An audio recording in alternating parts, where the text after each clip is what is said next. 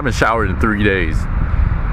haven't slept too well either. I don't know what my hair looks like. I got bed head, hat head, all types of hair problems.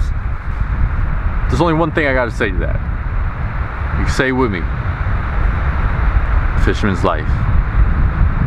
But anyway, I gotta get down there and start fishing because it's low tide right now. Tide is picking up soon. Swell is picking up also. So I probably got like a two or three hour window to fish. I've been trying to get this catch and cook lingcod done for a while.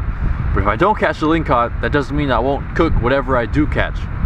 So I'm using the size four and a half inch swim bait with a four aught hook, one and a quarter ounce of weight. I gotta get down there right now because the tide's rising. I don't have too much time to film. I just gotta take advantage of the fishing while I can. So let's get down there. Another day, another cliff to climb.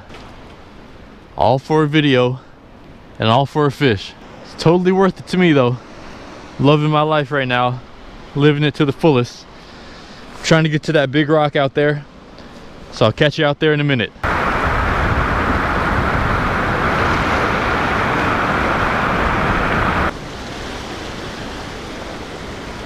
That was a bite. I just got bit.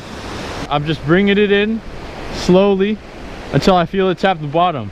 Now I don't want to I don't want to drag it on the bottom because that's where all the jagged rocks are. See all these rocks like this? See this cliff here? That's how the bottom of the ocean floor is right now. It's all rocks covered in seaweed and kelp. There's some areas where it's fine, they'll just slide over. But other areas, it's really jagged and it'll get stuck in the cracks. So you just want to cast it out let it tap the bottom and then swim it up up up up up above all the rocks and let it sink down again just to mimic an injured fish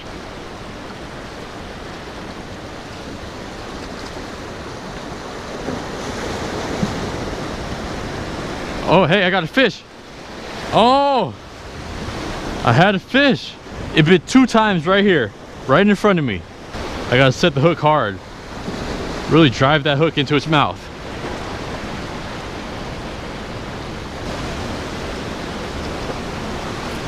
Oh, God.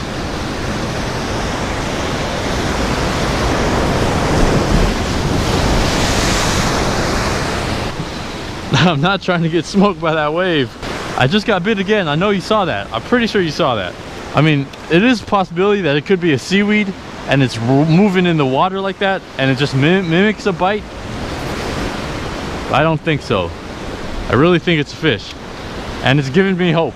All I need is some hope. Oh my God, look at these swells coming in.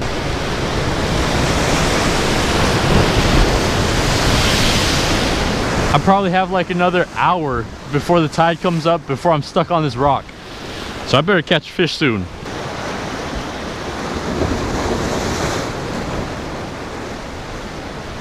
There he is, there he is. It's a lingcod.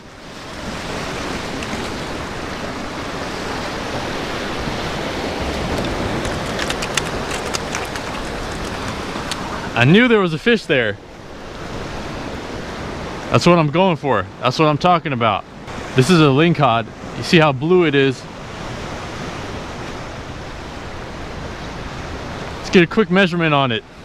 But I knew there was something biting right in front. So instead of casting out far, I just dropped the swim bait, let it swim up and down, and he took it. So these need to be 22 inches.